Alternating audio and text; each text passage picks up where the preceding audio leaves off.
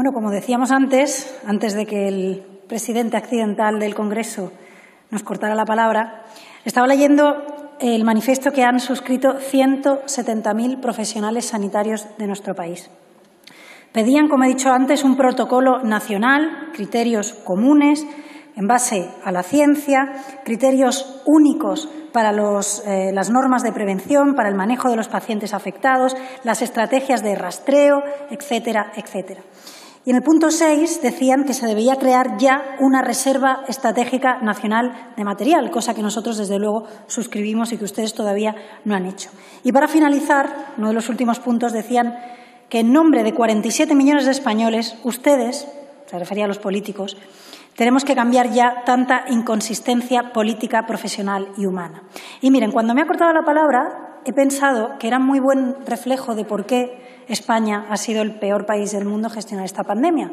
Porque no se suele cortar la palabra cuando se está insultando. Señor, señoría. A ver, eh, no discuta con la mesa. Mm, es más, no quiero, no quiero, no quiero interrumpirla. Ha tenido usted el tiempo. Tendrá el tiempo que se merece, como se marca en la Junta de Portavoces. Lo superó usted con crece. Tiene ahora estos cinco minutos y no pierda el tiempo necesario para su debate. Por favor, continúe sin debatir con la mesa. Es más, por último, señoría, no voy a reproducir aquí las gruesas e inoportunas palabras que usted ha referido anteriormente a la mesa, porque son inconcebibles lo que usted ha dicho. Y por ello voy a preferir que continúe usted serenamente en el debate. Es muy buena muestra de qué ha pasado en España, porque cuando se están leyendo palabras de profesionales sanitarios, te cortan el micro. Cuando se están diciendo insultos o ataques, te dejan hablar. Eso es lo que ha pasado en España, por eso hemos llegado a esta situación. Y usted insiste, señorilla, en decir, no, si este estado de alarma es diferente al anterior, si lo que hacemos es derivarles a las comunidades autónomas las herramientas. Es que ese es el problema, señorilla, que ustedes no lideran. Lo dice como si fuera algo bueno. Es un problema. Y le vuelvo a decir, y siento de verdad decirlo, pero me temo que un toque de queda no va a ser suficiente porque ustedes han llegado tarde. Y alguien tiene que decir la verdad. Probablemente tengan que venir ustedes aquí a pedir otro toque de queda, otro estado de alarma con medidas más drásticas. Y nosotros somos coherentes. A nosotros no nos podrá decir lo mismo que otros partidos. Nosotros hemos votado lo mismo y hemos dicho desde el principio que esto no era un tema que ustedes se inmiscuyan en las comunidades autónomas o que no y cambiar de criterio 20 veces. Ustedes tienen que liderar. ¿Un estado de alarma es una herramienta democrática? Sí. Pero, hombre, no rebajen la rendición de cuentas que casi que le vamos a tener que dar las gracias a la señora Lastra de que ustedes sigan haciendo sesiones de control en plena pandemia.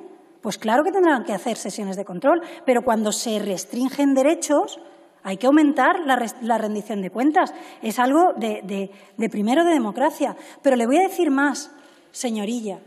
El problema de que ustedes no lideren la respuesta, el problema de que el presidente del Gobierno no presente el estado de alarma, no es solo un problema democrático, es que es un problema de eficacia de las medidas. Cuando ustedes no lideran, la gente tiene incertidumbre. La gente tiene que estar mirando qué pasa en cada comunidad autónoma. Nadie se atreve a asumir el mando. La gente cumplirá menos las medidas. No solo es una vergüenza democrática, es que es malo para la eficacia del plan que ustedes se laven las manos y que el presidente no comparezca. Necesitamos un presidente como Macron o Merkel que diga, asumo en primera persona estas medidas, son necesarias, todos a una. Y claro que tendríamos unidad. Por nuestra parte no quedaría, y usted lo sabe, y usted lo sabe. Es que les hemos tenido que obligar a que vengan tres veces en seis meses. El presidente no quería venir ninguna. No es normal, pero no es solo un problema de rendición de cuentas, es un problema de eficacia. Porque ustedes, señor ministro, están muy centrados en gestionar la comunicación, no gestionar la pandemia. Están muy centrados en que no se desgaste la imagen del señor Pedro Sánchez, pero no en que no se desgasten los sanitarios en los hospitales o las familias en sus casas. Yo entiendo que gestionar esto es muy difícil. Habría sido muy difícil para cualquier gobierno de cualquier color político. Se lo digo sin ningún tipo de problema. Se lo digo sin ningún tipo de problema. Pero ustedes tienen que gestionar y no dejarles la gestión de la pandemia a un experto en comunicación, que eso es lo que están haciendo.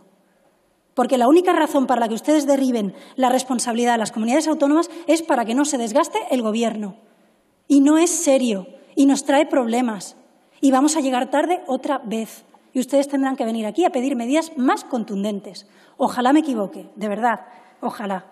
Y respecto em, a los presupuestos, yo entiendo que el señor Echenique esté enfadado porque, claro, de, prometer derogar la reforma laboral, subir el 15% del IVA de sociedades, el IVA la concertada, la especial, a lo que han hecho, pues me imagino que están cabreados. Pero solo le digo una cosa.